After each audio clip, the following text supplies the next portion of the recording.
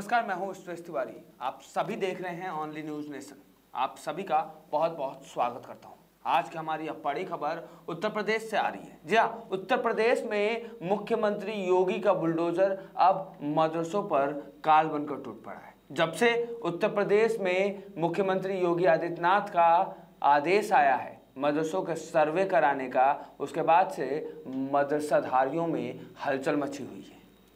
अब कांग्रेस के, राहुल गांधी के गढ़ में घुसकर मुख्यमंत्री योगी आदित्यनाथ के बुलडोजर ने कैसे तांडव मचाया है, यह आज हमारी इस खबर में आप देखेंगे।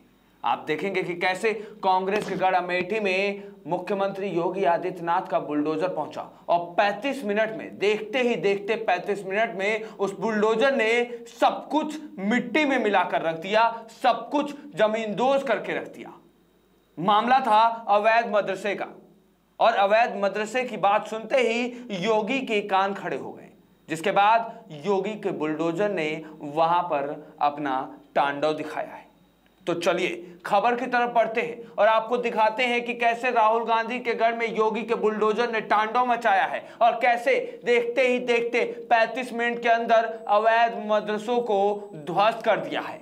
आगे बढ़ने से पहले आप सभी से अनुरोध करते हैं कि खबर पसंद आए तो खबर पर लाइक, शेयर तो करिएगा ही। साथ में कमेंट करके योगी के बुलडोजर का जो ये एक्शन जारी है, योगी का जो अवैध मदरसों पर एक्शन जारी है, इस पर अपनी राय प्रतिक्रिया ज़रूर दीजिएगा। क्योंकि इस बीच जैसा कि आपने देखा ही होगा कि कैसे मदरसों के अंदर आतंक पढ़ाया जा रहा है। आतंक के बारे में पढ़ाया जा रहा है और आतंक के रास्ते पर नौजवानों को ढकेला जा रहा है। अब इसी पूरे मामले को मद्देनजर रखते हुए मुख्यमंत्री योगी आदित्यनाथ ने अपने तेवर सख्त कर लिए हैं और अपने बुलडोजर को अवैध मदरसों के पीछे छोड़ दिया है।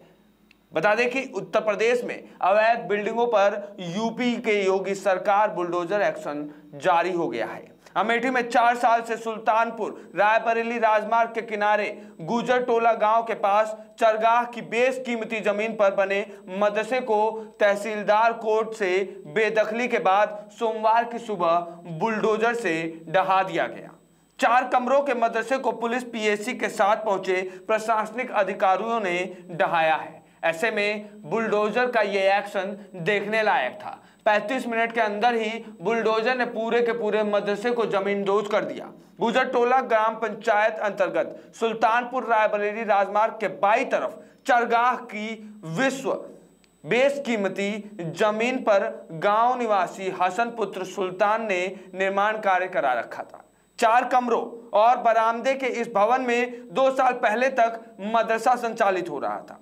भूखंड से थोड़ी दूर पर एक सरकारी हैंडपंप भी लगा हुआ था। मदरसे के बहाने पूरे भूखंड पर अवैध कब्जे की कोशिश की जा रही थी। ज़मीन हाईवे से सटी होने के नाते करोड़ों की बताई जा रही थी। मामले में लेखपाल की रिपोर्ट पर तहसीलदार कोर्ट में अगुवाई में सुबह साढ़े पाँच बजे टीम मदरसा गिराने के लिए मौके पर पहुँच गई। टीम में गौरीगंज एसडीएम के साथ ही अतिरिक्त मजिस्ट्रेट सचिन यादव, गौरीगंज जामो मुसिंगंज महिला थाना और जायज़ थाने की पुलिस के साथ ही डेढ़ कंपनी पीएससी पहुँची थी। साढ़े पाँच बजे से छह बजकर पाँच मिनट तक बुलडोजर चलता रहा और बुलडोजर ने करीब 35 मिनट में पूरा का पूरा मदरसा ही ज़मीन जमींदोज कर दिया। किसी भी प्रकार की शांति व्यवस्था भंग होने की स्थिति न बने, इसलिए मौके पर पुलिस बल और आरपीएफ भी तैनात थी। पीएससी बल भी तैनात थी।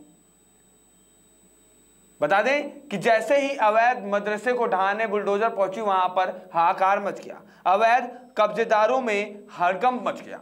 प्रशासन की कार्रवाई से सरकारी जमीनों पर कब्जा करने वाले अवैध कब्जेदारों पर हड़कंप मच गया। गुजरटोला गाँव में अन्य कई बेदखली के मामले चल रहे हैं। सूत्र बताते हैं, जल्दी उन पर भी कार्रवाई हो सकती है। वहीं जुर्माना भी लगाया गया है। तहसीलदार दिग्विजय सिंह ने बेदखली का आदेश करते हुए कब्जेदार हसन पर दो लाख चौबीस हज़ार का जुर्माना लगाया है। कब्जेदार को यह जुर्माना अदा करने के आदेश दिए गए हैं। तो आपने देखा कि कैसे मुख्यमंत्री योगी आदित्यनाथ का बुलडोजर न सिर्फ़ अवैध बिल्डिंगों पर, बल्कि अवैध मदरसों पर भी चलना शुरू हो गया है। हाल ही में जिस तरीके से अवैध मदरसों पर खुलासे हुए जैसे जैसे खबरें आई हैं, उन्होंने सिर्फ़ उत्तर प्रदेश को ही नहीं, पूरे देश को हिलाकर रख दिया था, झकझोर कर रख दिया था। ऐसे में उत्तर प्रदेश के मुख्यमंत्री योगी आदित्यनाथ का यह फैसला बेहद ही विचारधीन था। क्योंकि जैसे ही ये फैसला आया, उधर दूसरी तरफ़ मुस्लिम खेमे में हड़कंप बच गई। और जितने भी उलेमा थे, जितने भी मुस्लिम संगठन के नेता थे, उन्होंने मुख्यमंत्री योगी आदित्यनाथ के इस फैसले के खिलाफ जहर उगलना शुरू कर दिया। खुद ओवैसी ने इस फैसले के खिलाफ बयान देते हुए मुख्यमंत्री योगी पर हमला किया और कहा था कि अगर अवैध मदरसों, अगर मदरसों का आप जाँच करा रहे हैं तो आप प्राइवेट स्कूलों और सरकारी स्कूलों का भी जाँच कराइए। लेकिन ऐसे में सवाल खड़ा होता है कि कितने बच्चे प्राइवेट स्कूल और सरकारी स्कूल के आतंकवादी निकलते हैं? वहीं दूसरी तरफ़ देखें तो ऐसे कई लड़कों के नाम सामने आए हैं, ऐसे कई विशेष धर्म से जुड़े नाम सामने आए हैं, जो कि मदरसों में पल बढ़ रहे थे और आतंक को बढ़ावा दे रहे थे, जो कि उसी मदरसे से आतंक का पाठ पढ़ा रहे थे। नए नौजवानों को धीरे धीरे आतंक के रास्ते पर ढकेल रहे थे। ऐसे में उत्तर प्रदेश में जिस तरीके से मुख्यमंत्री योगी आदित्यनाथ ने इन सभी गतिविधियों पर नकेल कसी है, और जिस तरीके से सख्ती बरतते हुए सारे आतंकी गतिविधियों पर पूर्ण विराम लगाया है, वो बेहद ही काबिल तारीफ़ है। और मुख्यमंत्री योगी आदित्यनाथ के इसी बुलडोजर मॉडल से खुश होकर कई देश के कई प्रदेशों ने इस मॉडल को अपनाया है। खुद असम के हेमंत, असम के मुख्यमंत्री हेमंत बिस्वा शर्मा ने भी मुख्यमंत्री योगी के बुलडोजर मॉडल को अपनाते हुए असम में चार मदरसों को ध्वस्त कर दिया है। वो चार मदरसों से आतंकी मॉड्यूल चल रहे थे। उन चार मदरसों के अंदर से आतंक का पाठ पढ़ाया जा रहा था। वो चार मदरसे मदरसे नहीं, बल्कि आतंक की फैक्ट्री बने बैठे थे। ऐसे में असम के मुख्यमंत्री हेमंत बिस्वा शर्मा ने भी मुख्यमंत्री योगी आदित्यनाथ की तरह ही बुलडोजर कार्रवाई को ज़्यादा सही माना। क्योंकि बुलडोजर ही एक ऐसा डर है, जिसने इन तमाम आक्रांताओं के अंदर एक खौफ पैदा कर दिया है। कि अगर आप कुछ भी गलत करोगे तो आप पर बुलडोजर चलेगा। ऐसे में अब देखना यह होगा कि मदरसों के सर्वे में, उत्तर प्रदेश के मदरसों के सर्वे में क्या कुछ खुलासा होता है? क्योंकि एक बात तो साफ़ है, एक बात साफ़ है, मदरसे के अंदर पढ़ाई कम, शिक्षा कम और आतंक को बढ़ावा ज़्यादा दिया जाता है। मदरसे के चार दीवारी के अंदर किस तरीके से ज़मीन कब्जा किया जाता है? मदरसे के नाम पर किस तरीके से सरकारी जमीनों पर अपना अवैध कब्जा खड़ा कर दिया जाता है? ये तो आप सभी ने कई खबरों में देखा होगा। हाल ही में हेडलाइंस इंडिया के पत्रकार को किस तरीके से अवैध मदरसा खुलासा करना भारी पड़ गया, ये भी आपने देखा होगा।